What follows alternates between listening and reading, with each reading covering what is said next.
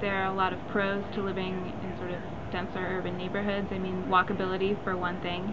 You know, being able to walk to restaurants and cafes and grocery stores and um, to recreation is wonderful. And you know, being in that kind of tighter knit community is great.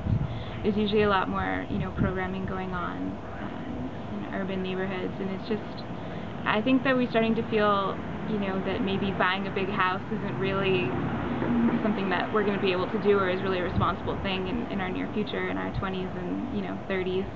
Maybe it's a goal later in life, or maybe you know we'll, we'll stay as renters living in, in urban centers. And it, it doesn't seem like a taboo anymore.